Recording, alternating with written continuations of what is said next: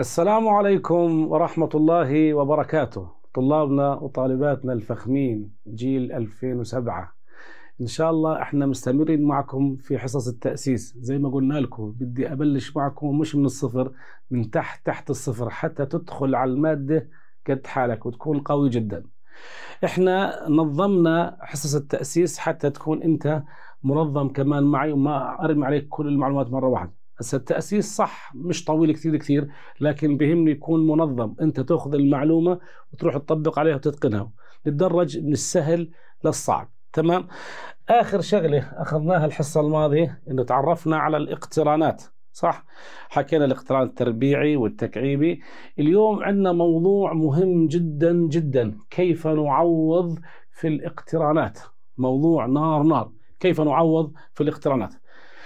ماشي يا عمري بدي أعطيك طريقة حلوة في الحل عشان أنت تكون قد حالك. اذا هاي الحصة الخامسة في التأسيس. اذا الحصة الخامسة هاي تاسيس حصة رقم خمسة. يلا. كيف؟ هاي عنوانها. نعوض في الاقترانات. اللي أخذناها وشرحناها قبل. بس هيك موضوعنا. طبعا هذا موضوع جدا صار كل الوحدة الأولى والثانية تعتمد على التعويض. إذا بتعرف تعوض مصيبة. بس في عندي ملاحظات مهمة جدا خلينا نأخذها قبل ما نورط حالنا في الحل. أول ملاحظة. السالب يهمل في حالة الأس الزوجي والتربيعي. ملحوظة مهمة جدا. السالب يهمل في حالة الأس حالة الأس مش حاطين الأس إحنا هنا.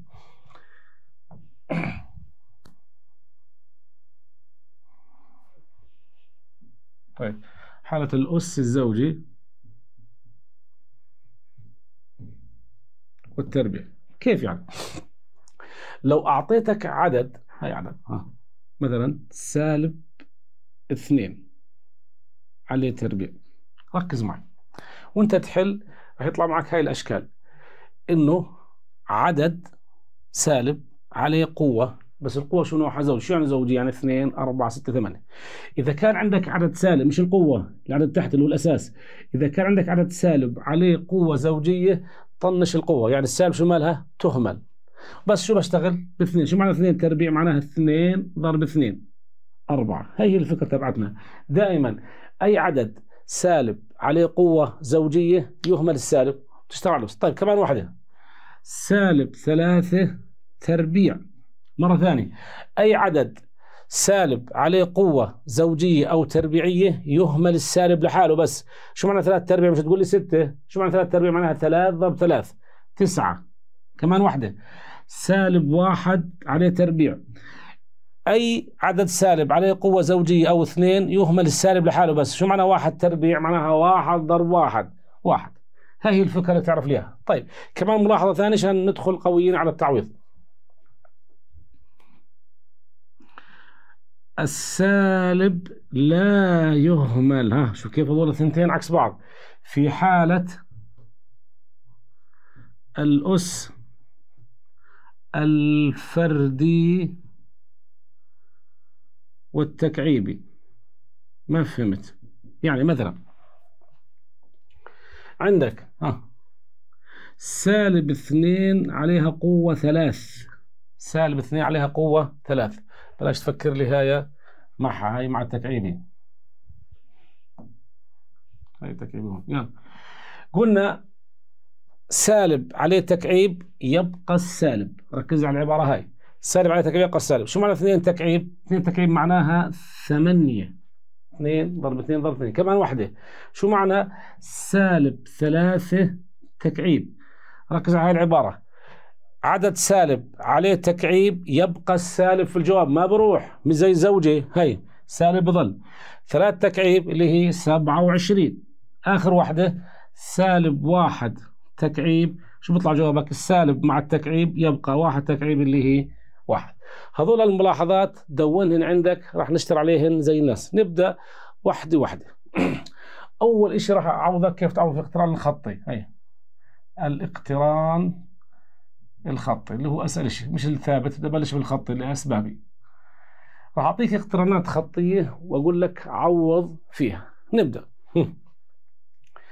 واحد إذا كان f ال x يساوي خمسة x ناقص ثلاثة.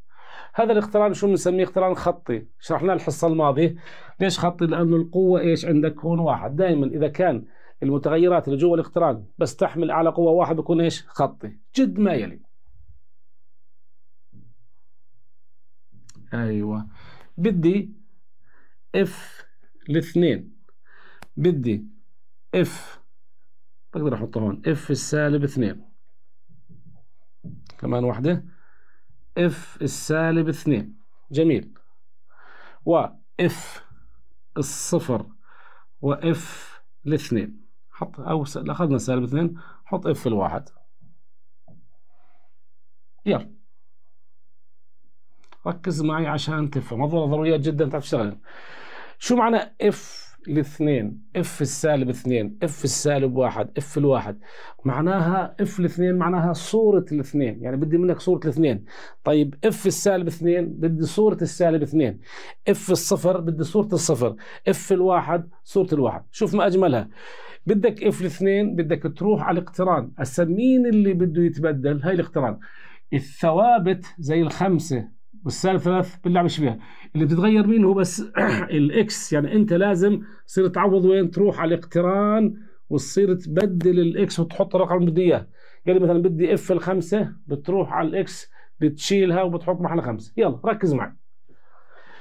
f الاثنين صورة الاثنين يعني شو معناها؟ يعني روح على الاقتران اللي موجود في السؤال. بس تصل ها بس تصل عند ال x شيلها وحط محلها اثنين. يلا قول يا الله. شغلة ثانية كمان. أي رقم ملزق بال x؟ شو بكون بيناتهم ضرب؟ هسه في كثير شغلات في الرياضيات تنكتش. بدك تعرفها لحالك يعني زي هيك مثلا ها. لما أقول لك مثلا 6 x.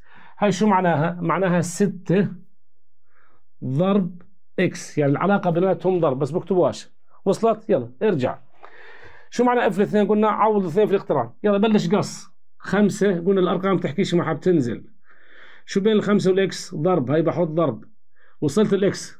أول ما تصل ال x بدلها. وشو بتحط محلها؟ تحط محلها الرقم المطلوب. اثنين.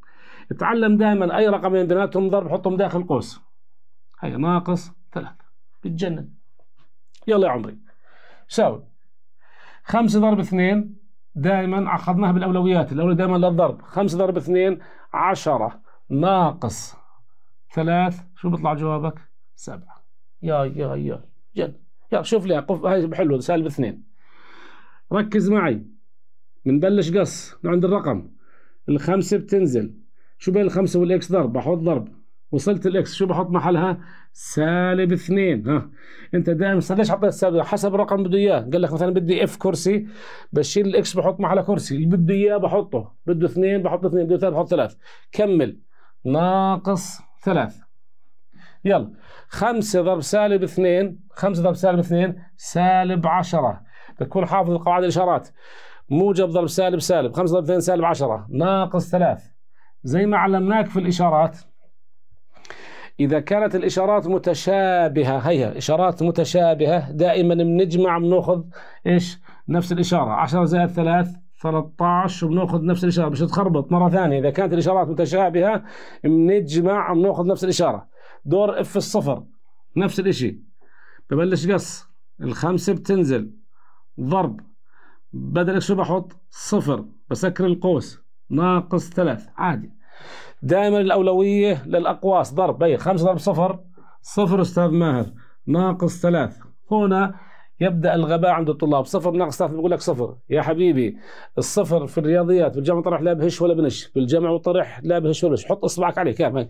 يعطيك طريقة مرتبة بالجمع والطرح إذا جاك صفر غطيه كامل. ها شو بضل عندك؟ بضل رقم مع اشارته صفر جوابك سالب ثلاث بدي أقفل واحد.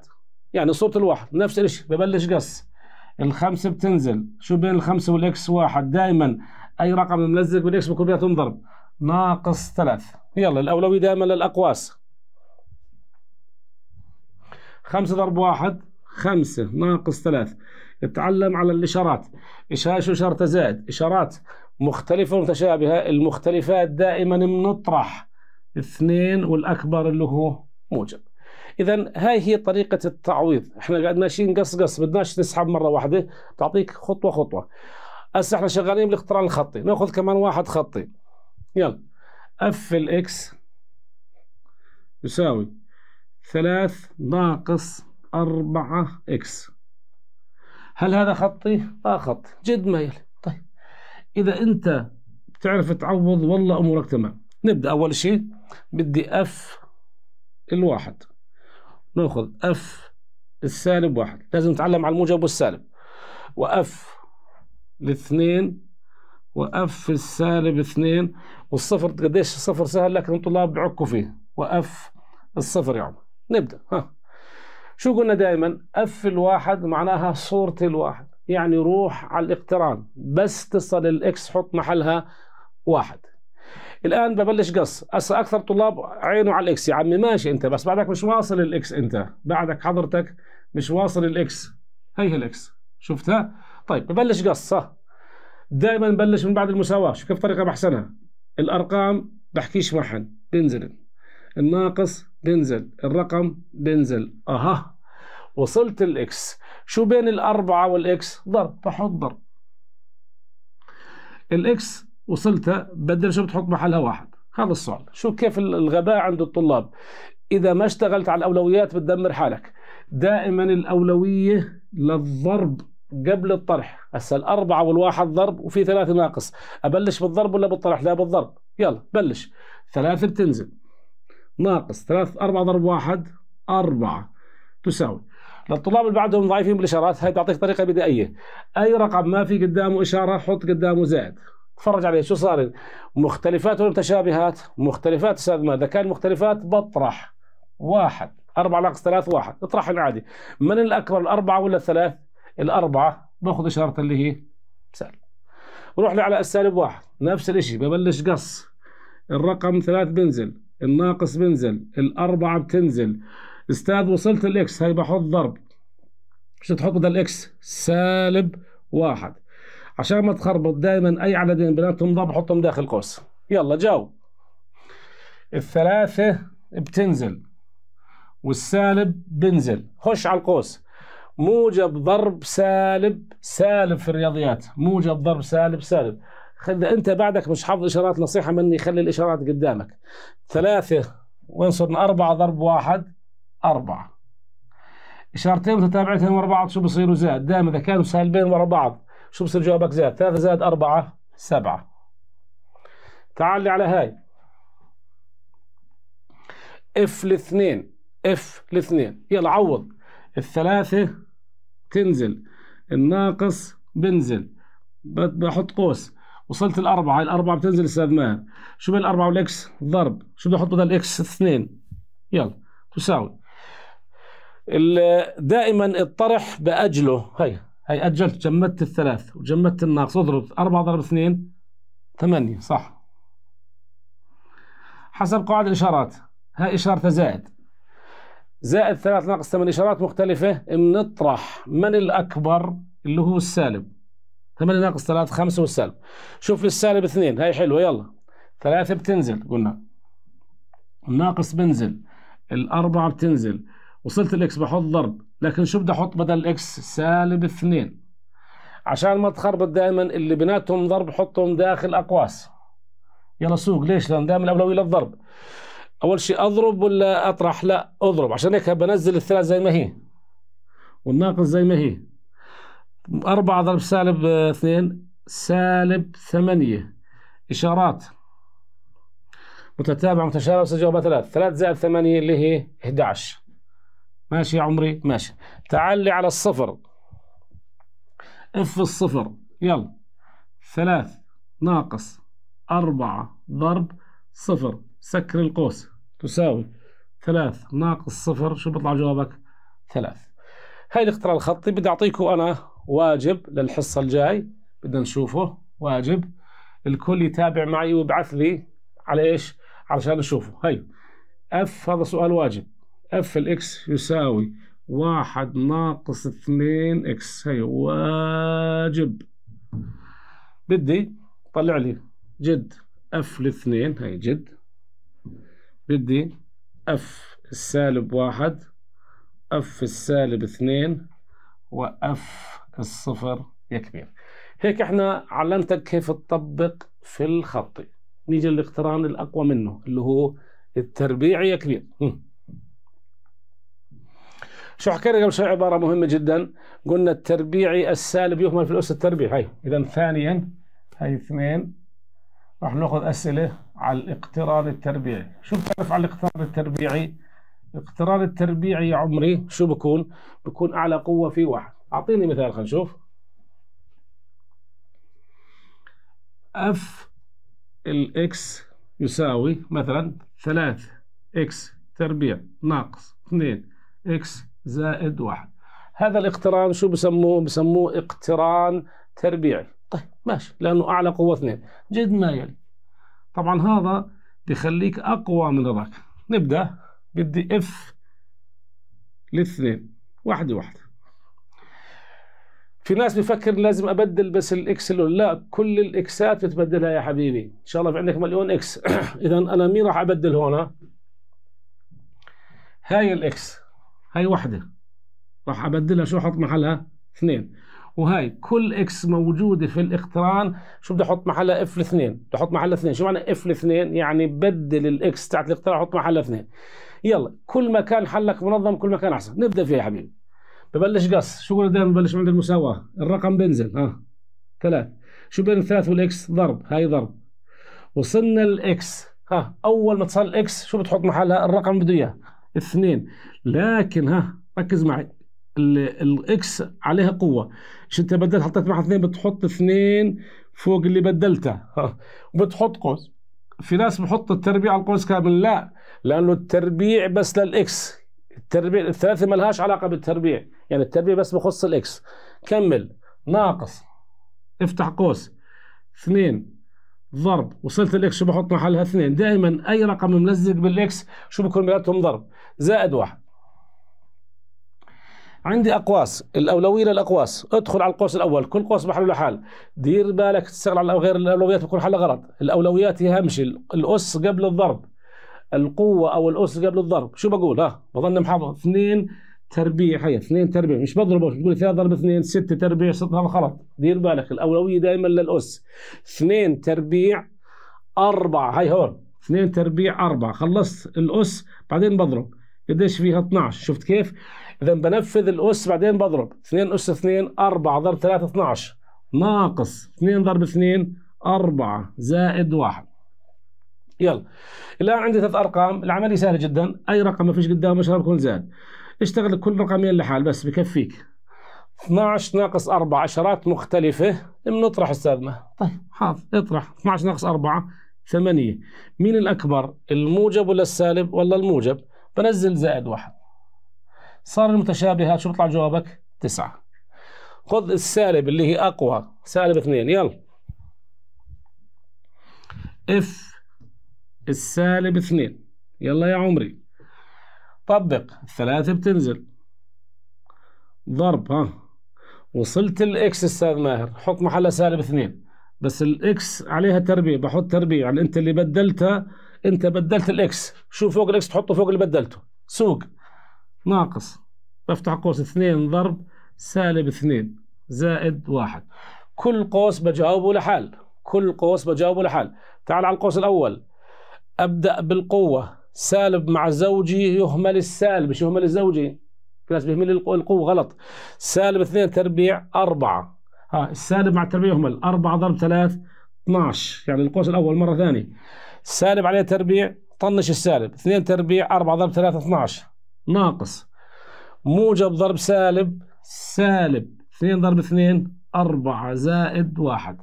دائما يا عمري بلش بالمتتابعات أخذناهن. شفت سالبين ورا بعض شو بصيروا دائما؟ هذول بتبدلن نحط محل زائد. 12 زائد 4 16 زائد 1 شو بيطلع جوابك؟ 17 كمان واحدة. ناخذ الصفر.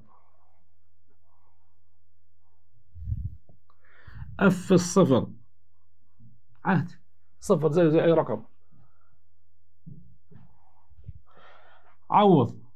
هاي الاقتران ثلاث. ضرب.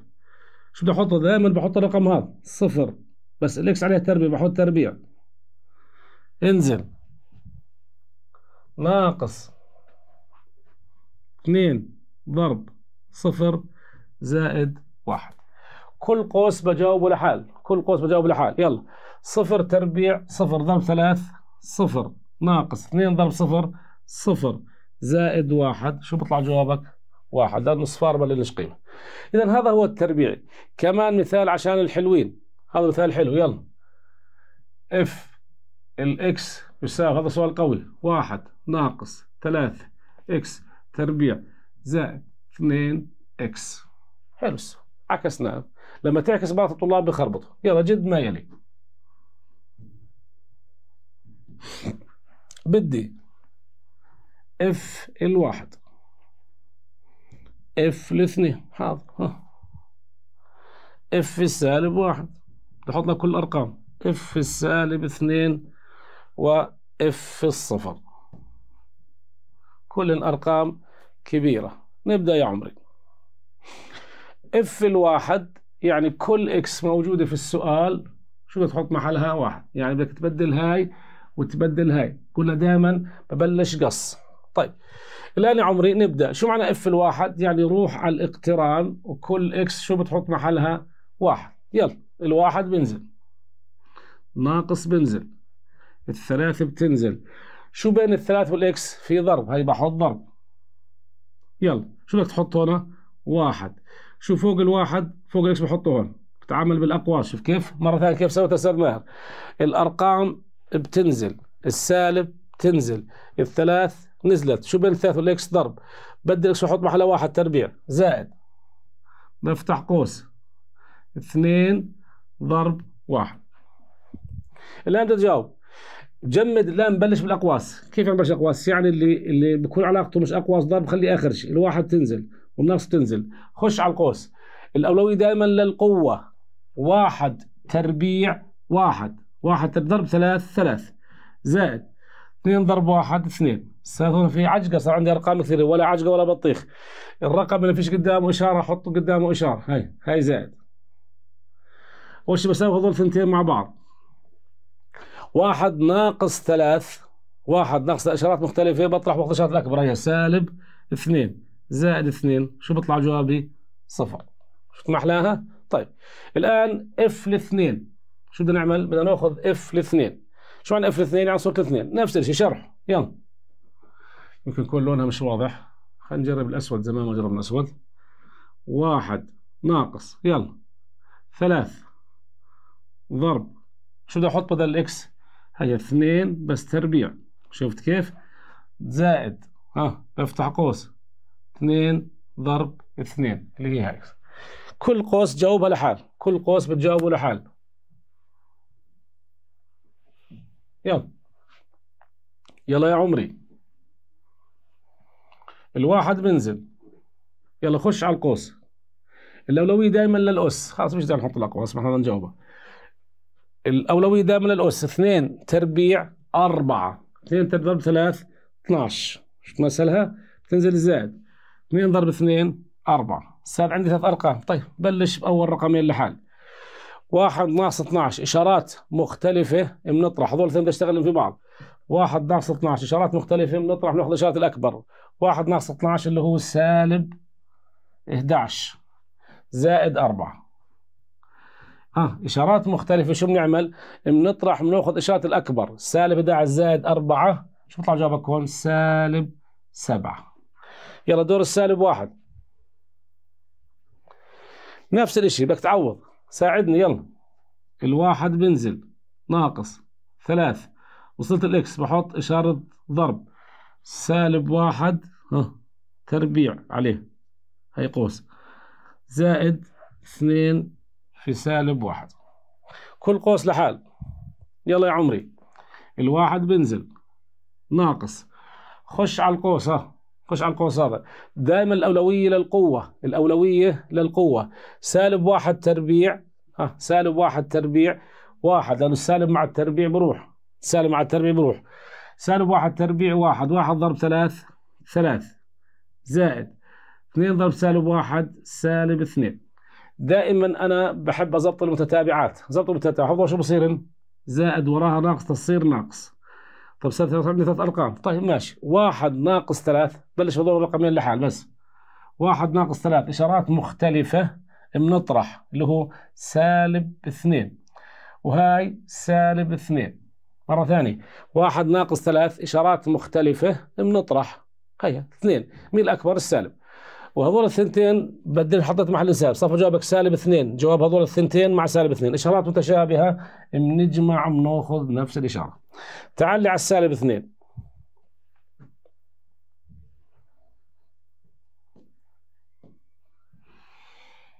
يلا. طبق. واحد. ناقص. ثلاث. ضرب. سالب. اثنين. تربيع. سكر القوس.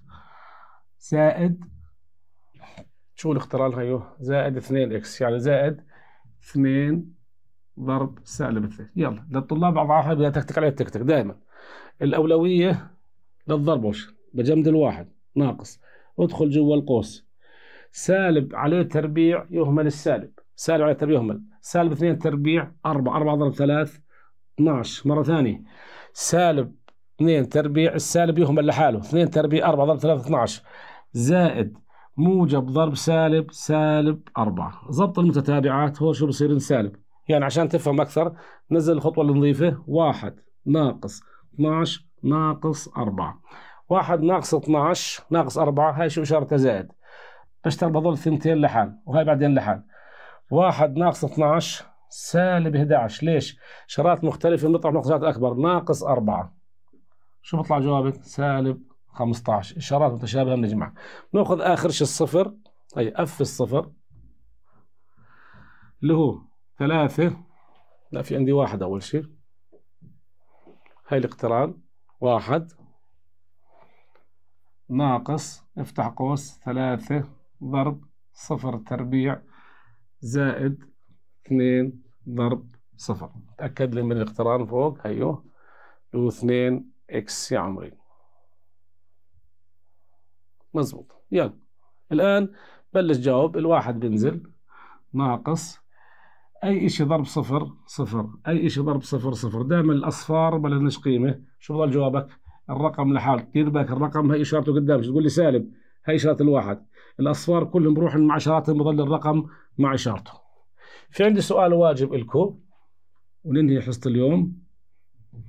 شو تكامل؟ آه عفوا f ال x يساوي ثلاث ناقص إكس ناقص إكس تربيع. حلو هذا السؤال. بدي الكل يحل لي إياه يبعث لي الإجابات إن شاء الله. جد ما يلي. بدي f الواحد f الاثنين f السالب واحد و f السالب اثنين و f الصفر. هذولا خمس مطالب بدي الحصه الجاية.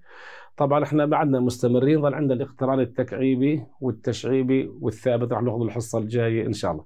زي ما وعدناكم إحنا بدناش نطول حصص التأسيس لازم تكون كل حصة نص ساعة حتى الطلاب ما يزهقوا وما يملوا ويقدر يراجعهم أول بأول. نستودعكم الله والسلام عليكم.